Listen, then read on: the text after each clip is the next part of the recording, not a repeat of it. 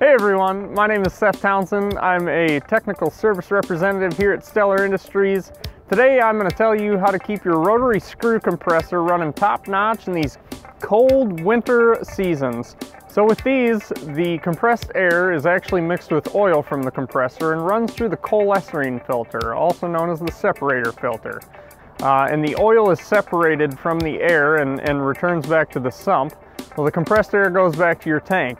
Uh, if you don't run these compressors long enough, moisture and condensation can build up in there, and on your way to your next job it can freeze, and that's not going to allow your compressed air to, to run through your filter and get to your tank, and it's going to blow your pop-off valve off. So it's always good practice to run these for a minimum of 15 minutes when you're on a job. That way it builds up enough heat to be able to burn that condensation and moisture off. Uh, and that'll have you ready for your next job.